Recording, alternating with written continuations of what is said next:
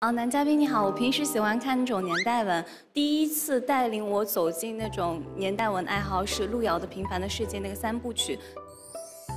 然后《平凡的世界》其实开头的时候，在我印象中就是孙少平他在吃那个黑馍馍还是馒头那种，就那个年代也很艰苦，就是让我之后就看到那种浪费粮食，我就会心里觉得有点很难受那种感觉。你喜欢的历史方面的书有哪些？我比较喜欢《大秦帝国》。你如果喜欢历史书，我可以推荐你看一套书，黎东方老先生写了一套九卷本的，叫《细说历史》，它有三国，有隋唐，有宋史，有元史，有清史，一共九卷。它的写法是和那刚才你说的那个是有不同的。